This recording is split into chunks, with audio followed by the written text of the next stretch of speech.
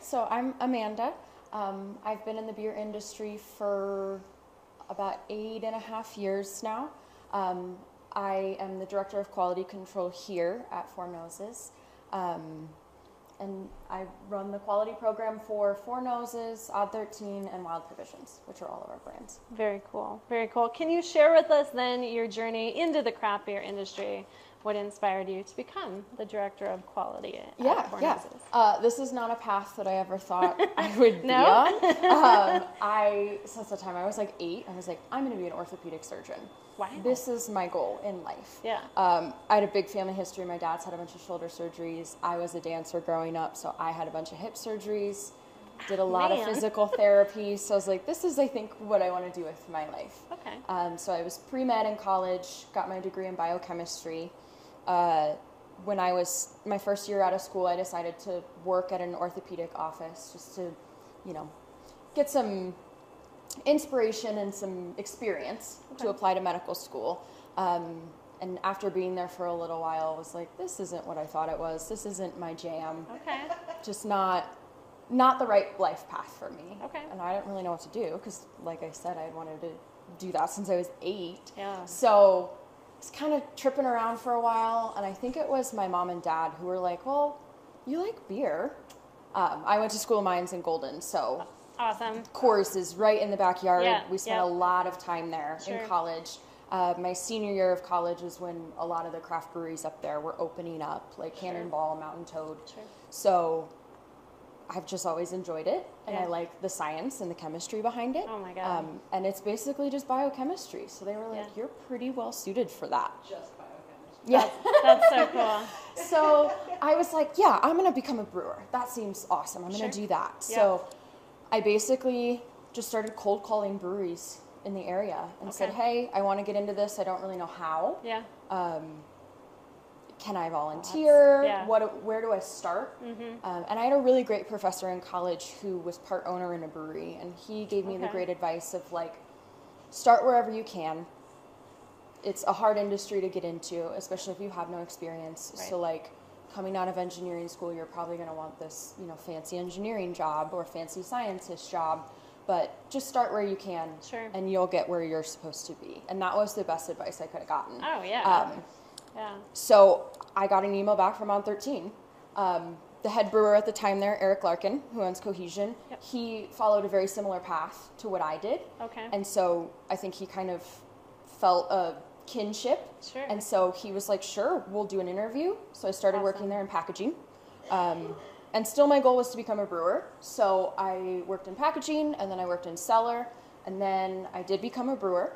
And after I'd been brewing for about a year, we had a really bad um, wild yeast contamination. It was causing cans to explode. Um, Mm. That's it was, bad. yeah, it was, it was not great. yeah. And they were like, hey, Amanda, you know science. you do biochemistry, right? Science person. Um, science. Here's Yeah. a budget. Do something, figure out why this is happening, Wow. make it stop, Wow. and make sure it never happens again. So I kind of stumbled into the beer science. Sure. At that point, breweries this size, smaller than like, you know, Avery, New Belgium, didn't really have labs Sure. because it's costly to get into. It's an investment. Yep. Um, so I built up the quality program in the lab at Odd 13, and then I left Odd 13 in January of 2020 to basically come do the same thing at Four Noses. Wow. Um, I moved over to Four Noses just because I was always in love with the beer. My husband and I Yeah. have always lived right down the street, so we came I think like the first month we opened Sure. And I just love the innovation and the variety. We were just about to open Wild Provisions. Right. So I made the leap over, and then a year or so later, we acquired Odd 13. Yeah, so It's right? great full circle. No Um, kidding. but over the last four years, I've kind of built this program from just very basic contamination testing Sure. all the way up to what we have here. And we just Very moved into this facility in October. Right. So we have this new beautiful lab and sensory room Awesome. that I got to design, and it's now my home. Oh my God, that's such a good origin yeah. story. I love that. I think it's a great transition. Walk us through then the science behind your program. Absolutely. How does it ensure the quality of the beer? Awesome. Yeah, I'll start over here because Yeah. this is kind of where I start my day to day usually. Um, Okay. So I would say this part of the lab is what I would call the micro side. Sure. So this is where we're doing microbiology primarily to make sure there's no contaminants in the beer. And mostly what we do is genetic testing called PCR. Um, a lot of people learned what PCR was during COVID because that's how they were determining if you had COVID. Um, but basically, our PCR machine, which is right over here, um, is looking for beer-specific spoilers. So things like lactobacillus and pediococcus, um, different types of Brett, and then the diastaticus, which is the beer exploding Yep. yeast. Yep. So we're taking samples during fermentation, and then once products are packaged, we hold them here and we test them before we either you know move on to dry hop or fruiting, or before we send them out to our distributors, just to make sure that everything's clear of contamination. Sure. Um, we also do some plating, like on the little petri dishes. That way, we can just kind of differentiate our yeast, um, look at any other potential spoilers. It's just another way to like screen and cast a wide net for everything. Sure. Pictures of it. So this pretty is cool. a plate that's showing um, not necessarily anything bad. This is one of our yeast strains. Okay. So this is something that should be in the beer. Um, But if there was a different yeast, um, like this one versus this one look different, Yeah. that's showing two different yeasts in there. So we can tell, like, if we are making a lager and we put it on here, I can see what the lager versus the ale yeast look like, and I can Sure. determine like if they got cross contaminated in any way. Sure. Um, there's different media for different things, Sure. kind of to screen the process. So this side is more of our chemical side. This is where we're starting to build out now that we've got the micro pretty well established. Sure. Um, what we can do over here is cell counting. So we can test um, cell counts during fermentation and once we harvest yeast, just to make sure that they have enough to be pitched into another beer. Sure. Um, we can also do UV vis spectrophotometry. Photometry.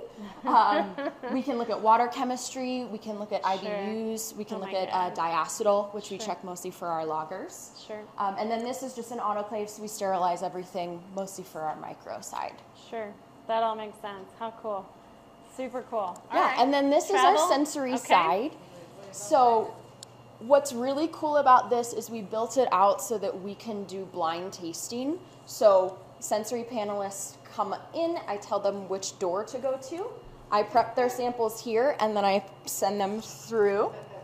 Um, Oh, that's why he's yelling at me. Yeah, yeah, yeah. got it. Got Was it. that like your favorite part when you designed the room? Yes. I feel like I would have been Yeah. like secretive, like I love these tiny doors. Oh yeah, I was so excited about it. And we have these little trays that we use to pass all the samples Yeah. through. It's You really ever put in like French fries. Oh my gosh, I should. So Um, it'd be like, the best day of sensory Yep. Yeah, they get snacks afterwards, and they're very excited about like all the hot Cheetos and stuff. Yeah, that's what he was saying. yeah, they like the spicy packs, like hot funyuns, anything I can find that's spicy, they're into. Um, but yeah, so sensory side, um, we have all of our back of house staff trained on sensory. Okay. So on an average week, we have between 20 and 25 people coming to sensory panel, um, and they're pretty much tasting the beers that were packaged the week before and they're kind of determining if they're okay to send out and then based on the beer if it's a core beer they're trying to decide how true to brand it is. So like if it's about damn time they're saying on a scale of 1 to 10 how true to the overall brand is it. Sure. and if it's a new beer they're basically creating a brand description for it. They're describing it. And then once the beer goes through panel five times we have enough data to build a description. And then that one moves over to true to brand um, my I'll also throw like old beer on so we can check shelf life, stuff like that. So that's the reason we like to have it behind these doors so that they don't know, you know, if it's an old about damn time or if it's something, if I'm tricking them Sure. in any way. yeah. Um, and then on the other side, not in this fun room, but front of house, uh, every one of the four tap rooms, all of the bartenders are trained on sensory. And they do two, about two to three draft lines per shift. Okay. So we get a ton of data from that, especially on like shelf life and Sure. aging. And they're really good. They're like the first line of defense if any if a keg's Yeah. oxidized Yep. or if a beer isn't tasting right, Wow. they'll send out a message and that kind of alerts us and we can fix the problem. Sure. Which is awesome. Sure. Oh my gosh! Like so, when you're like, of course, like smaller breweries win do because it's more expensive. Right? I'm like, oh sure. Like from a very basic level, I get that.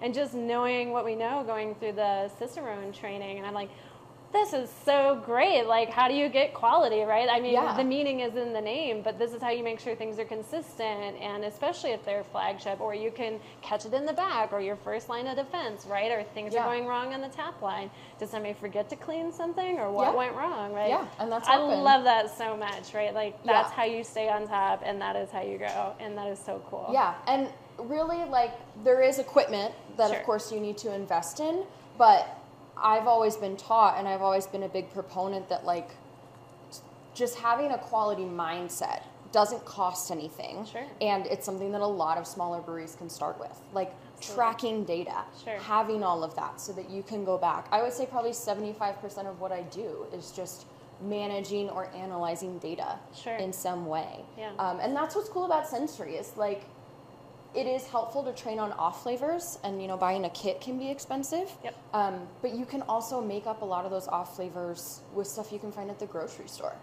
so sensory and if you're just tasting your beers to make sure that they are good to go sensory is pretty much free and Okay. it gives us as much if not more data than anywhere else in the Sure. brewery Is there any, and we kind of asked you this, but are there any particular beer styles that are maybe more difficult than others to experiment with? I would say, in terms of making beer, I think lagers Mm. are probably the most difficult. Okay. Um, just because there's nothing there to hide. Sure. Bye. So you have to be really good Okay. to make good lagers because you know there's not not that it's not hard to make a good IPA or a good fruited sour, but there's other flavors that are coming up there. Sure. But for lagers, there's nothing there. So it's what you're doing, how you're building the grain, how you're doing the water profile, your yeast strain, how you manage that.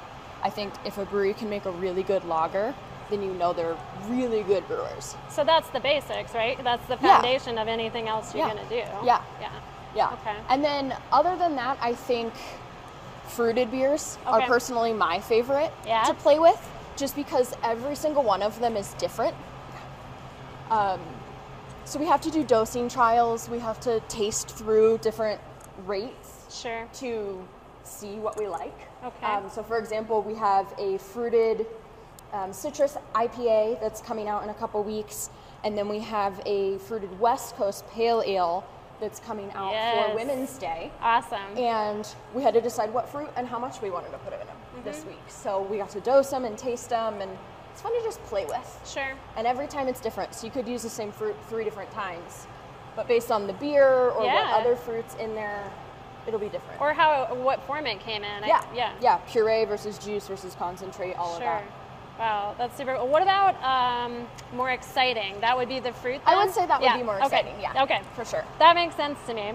Um, so, what is then like the most rewarding uh, about running the sensory program, and any tips that you want to give another brewery outside of those maybe like starting small, some uh, items that you can grab Yeah. from the store uh, to start maybe implementing some back best practices on their own. I think the most rewarding part is just seeing everyone develop their confidence in sensory. Sure. That's really fun, especially when we have people who have never really been in the brewing industry before. Yep. And they come in and they start working here and they go through sensory training and they're really intimidated and they're like, I've never done this. And I said, Well, you drink beer, right? Yep. Like, that's how you start.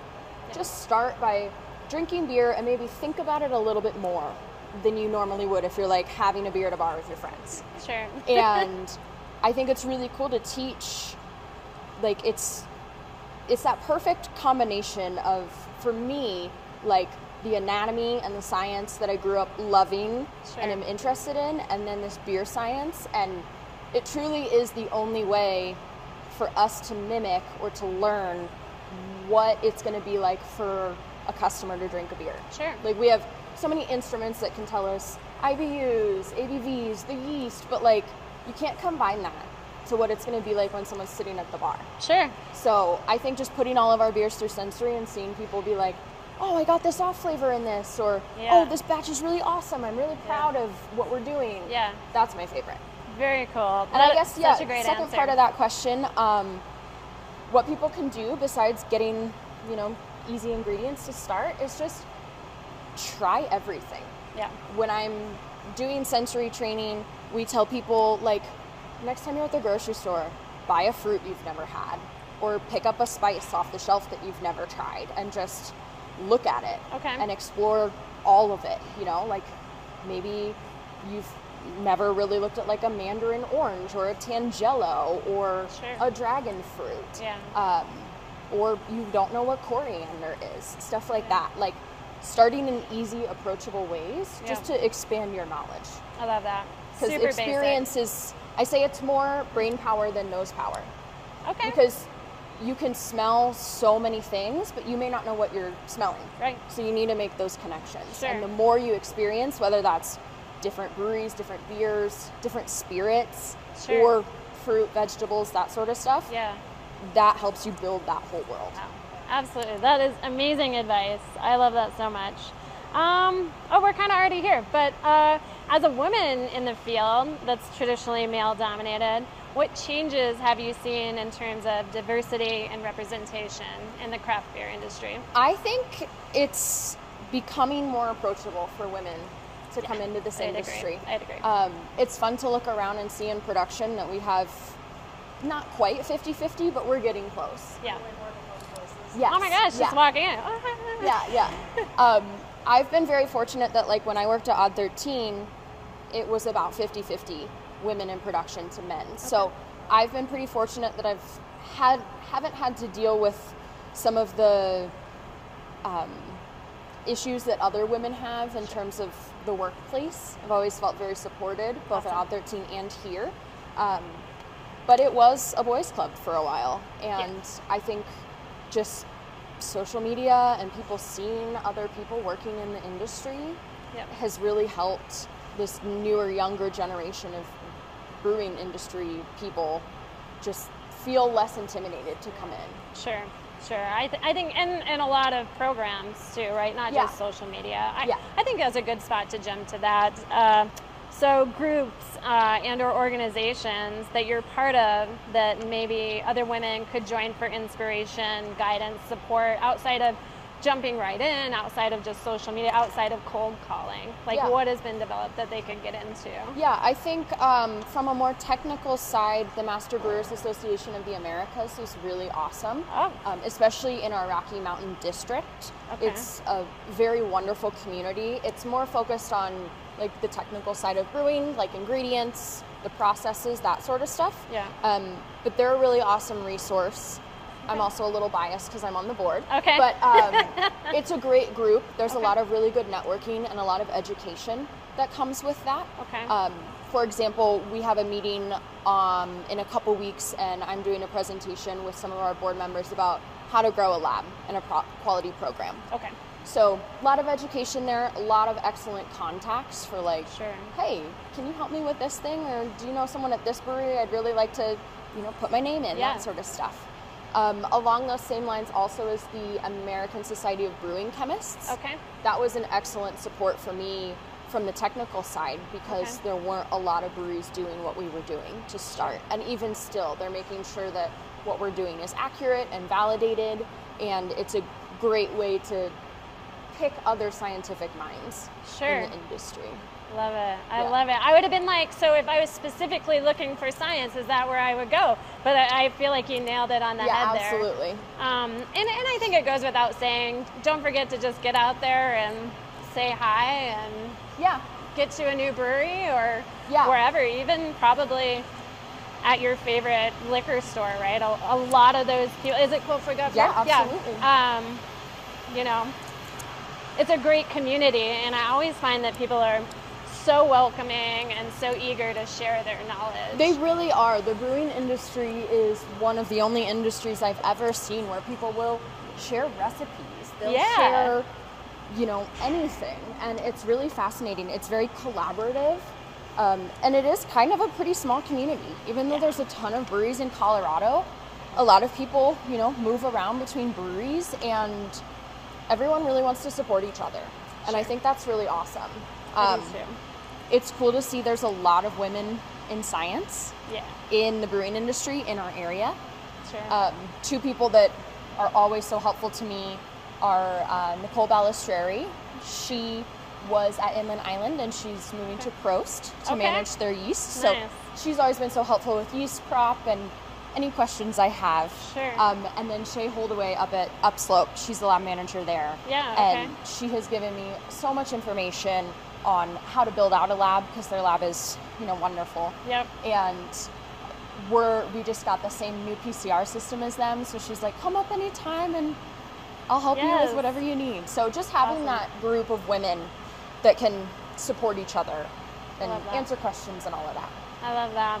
Uh, what about a most influential female then in your life, beer or not beer related? Yeah.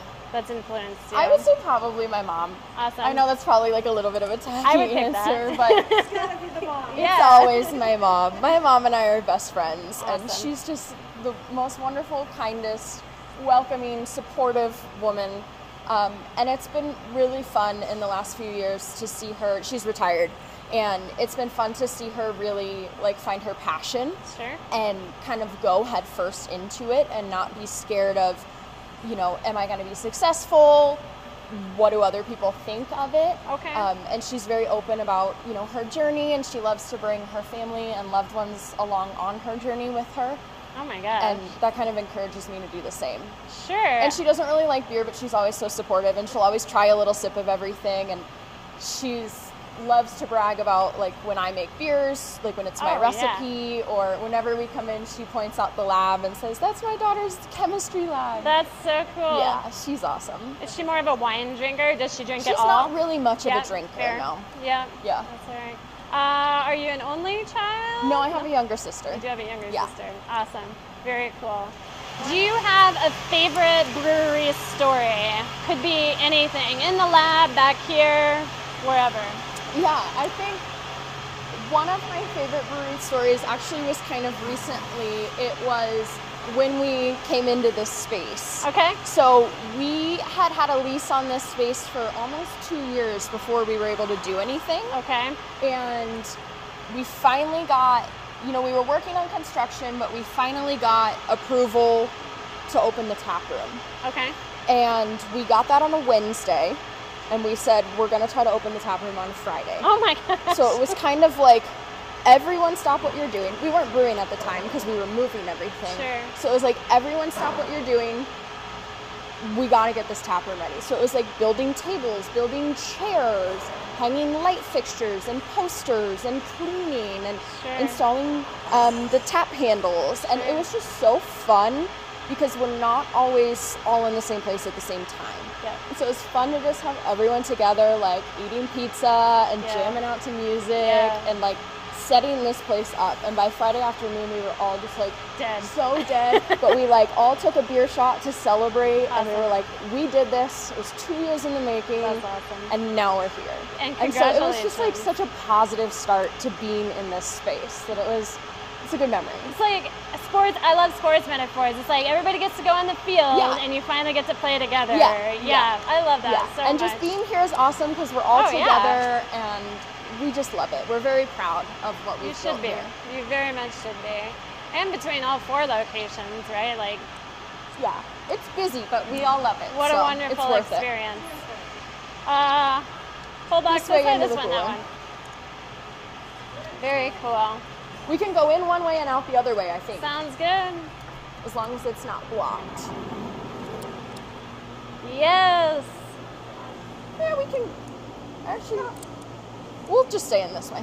So this is where all the hard work comes to fruition. Yes. It gets to go out the door. You're like, I can easily and happily and proudly say that's how it should taste. Yeah. That's what it's supposed to be. Yeah, yeah. So it all hangs out here until I pass it on QA. So we've got a back stock. Um, we have pickups uh, like once or twice a week. So it's Friday, so we're ready to go first Sure. thing Monday morning.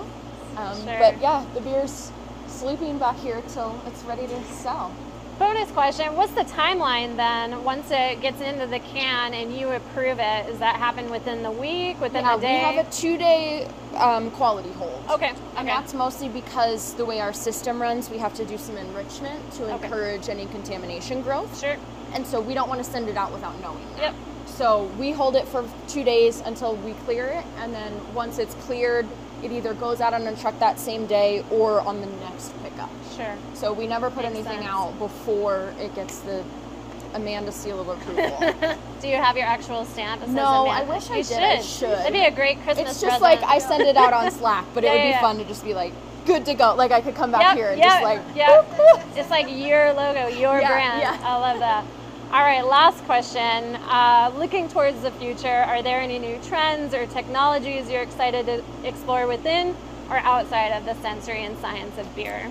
I think just continuing to see the evolution of beer. Yeah. We know that it's a really changing market, and we know that you know this product that we have will always be popular in a sense, but we don't know what's coming next. You know, Sure. there's been a lot of play in the non-alcoholic field, Yeah. um, in other areas besides beer, and we love to explore and we love to experiment. So we've dipped our toes into that a little bit. Yeah. Um, we came out with this hop water for dry January. It was delicious. So it's just a seltzer that's infused with hops. Yep. And that was quite an undertaking for us because the rules are so different when there's no alcohol. Sure. And it's it was something fun to play with, especially from the science and the quality side. It's a new challenge that I had to tackle that I had never gotten to explore. Sure. So exploring things like that, just different beverages and how we can grow all three of our brands um, while continuing to make all of this beer Sure. and play around and have fun with it. Yeah, I mean, what else do we have, right? Yeah. Have fun. Yeah. First and foremost. It's a really good time. Awesome. Well, I know we're very much looking forward to the future, especially for Four Noses. I was so excited when Waterproof came out, and I was like, yay! And of course they are. I told you I did the dry January. Yeah. So I had a lot of the different NAs that were coming Yep. out. And that alone, right? How cool that it had been coming up through the last few years. And then this year, there's like everywhere. yeah, Like, and they're getting good. Like I've So had quite a few that actually taste They're like beer pretty- now, pretty which good. is exciting. yep. Awesome. Yeah. Compared to last year, they've gotten a lot better. Yeah. Yeah. There's a lot of research and effort put into that area. So I think it'll be Very cool, cool. to see what comes out in the next few years. Awesome. Well, like I said, we're really looking forward. Thank you again. Yeah. This has been awesome. Yeah. Like, thank you for taking the time. This is so Thanks cool.